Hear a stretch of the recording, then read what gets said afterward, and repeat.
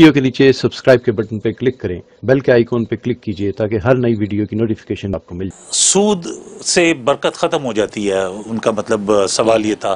تو جب گورنمنٹیں لیتی ہیں سود پہ پیسہ لیتی ہیں، قرض لیتی ہیں، تو کیا اسی لیے کام میں برکت ختم ہوتی ہے؟ اچھا بہت اچھا سوال کیا ہے۔ ظاہر کو سود کا معاملہ تو بڑا سنگین ہے اور قرآن کریم میں بھی اللہ اور اللہ کے رسول کی طرف سے اعلان جنگ ہے سود کا کام کرنے والوں کے لیے۔ اور احادیث طیبہ میں تو اس کی بڑی تفصیلات بیان کی گئی ہیں اور سود کے حوالے سے بہت سخت مذمت ہے۔ اس میں شک نہیں۔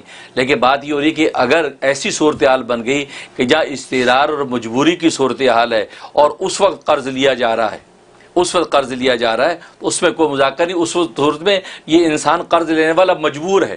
اور مجبور جو ہے، وہ ظاہر ہے وہ معذور ہے۔ اور معذور اللہ کے یہاں ماخوذ نہیں ہے۔ اس لیے جو ہے وہ برکت جو ہے وہ برکت صور قائم رہے گا۔ ہاں اگر یہ سودی لین دین کی وجہ سے کوئی کمی بیشی ہو جائے برکت میں، وہ ایک الگ بات ہے کہ پیور اور خالص چیز کہ یہ کہ انوارات اپنی جگہ ہے، لیکن ایک مجبوری میں، جیسے کہ حالت استرار میں حالت اظہار میں مردار کھانے کی اجازت ہے۔ اب حالت اظہار میں اسے مردار کھا لیا اور اپنی جان کو بچا لیا۔ تو حالت اظہار میں مردار کھا کر اپنی جان بچائی اس نے، تو وہ اعلیٰ پاکیزہ رزق کھانے کی برکت تو اس کو نہیں ملے گی، لیکن کم از کم جان تو بچ گئی۔ کیونکہ ابھی تو اس کو تو جان کے لالے پڑے ہوئے ہیں، چیچا کہ وہ برکت کی بات سوچے، اس وقت تو اس کو حرکت کی ضرورت ہے۔ وہ زندگی کی حرکت کی ضرورت ہے، اس سے وہ حرکت تو کرنے کے قابل ہو جائے، لہذا وہ کھا لے۔ لہذا اللہ نے کہا کہ نہیں، یہ گناہ گار نہیں ہے فلاں حرج، اس میں کوئی حرج نہیں ہے۔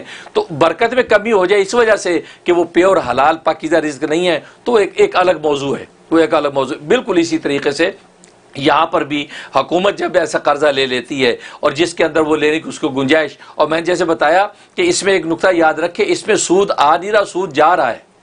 سود دینے کا گناہ ہو رہا ہے صرف۔ آپ کے کھانے پینے کے اندر کسی قسم کا سود کا عنصر نہیں ہے، وہ بالکل پاکیز اور حلال ہے۔ تو لہٰذا برکت آپ کی بالکل قائم ہے۔ تو بے برکت کا بڑا تصور اس وقت قائم ہوگا جب آپ کے کھانے پینے میں بھی سود آ گیا۔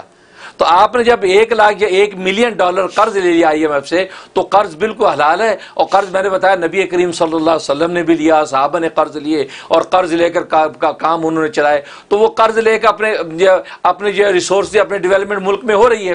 ہاں گورنمنٹ جو ہے، خزانہ جو ہے، سود دے رہا ہے۔ دے رہا ہے۔ تو دینے کا ایک گناہ ہے، وہ وہ حکمران کو چاہیے اس گناہ کے لیے۔ روز صلاح توبہ دو رکعت پڑھ کے خدا سے استغفار کرتا رہے، تو بس وہ۔ لیکن وہ جو پاکیزہ، جو آپ کا جو پروجیکٹ چل رہے ہیں، وہ انویسٹمنٹ بالکل حلال ہوگی۔ ان انشاءاللہ وہ برکت بھی، وہ معذوری کی وجہ سے برکت بھی آپ کی منقطع نہیں ہوگی۔ بہت شکریہ مفتی صاحب۔ سود پہ قرض لینے سے برکت میں کمی تو ہوگی۔ لیکن اس وقت مسئلہ حرکت کا ہے۔ بہت خوبصورت انداز مفتی صاحب آپ نے یہ ایکسپلین کیا کہ اس وقت تو مسئلہ حرکت کا ہے جان بچانے کا مسئلہ ہے۔ تو جان بچا لی اس کے بعد اگر عادتاً وہ یہ کام کرے تو پھر غلط ہے۔